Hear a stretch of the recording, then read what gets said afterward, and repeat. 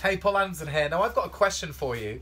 Do you focus on what you want or what you fear, or more commonly called what you don't want? And the reason I'm asking you that is I'm out here skiing in Austria, and you know, I've not skied for eight years, so I'm getting back into it. And what I found was this morning, when I was out here getting back into it, uh, all my focus was on what I feared, meaning it was down looking at the skis. It was, oh God, I don't want to fall, I don't want to fall, I don't want to fall, oh, I don't want to get it wrong, blah, blah, blah. And guess what I did? I fell.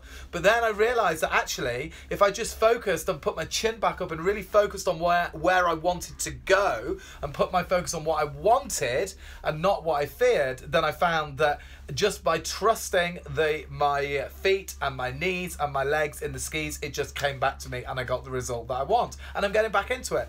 And I thought that, that was just a really good metaphor for life in terms of any projects that you're running, any uh, uh, anything you want to achieve that you know whenever you set a goal whenever you set a result that you want to achieve it's really easy to focus on what you fear meaning that it's not going to happen or something goes wrong on the way. And of course if you do that what happens is you just tune your mind in to fall. You tune your mind in to look for all the reasons why it can go wrong as opposed to it going right.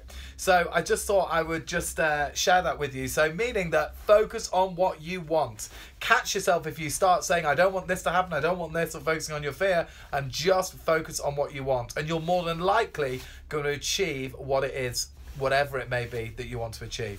Well, listen, I hope this video has served you in some way. Wherever you are in the world, one life, live it. And uh, I look forward to speaking to you very, very soon.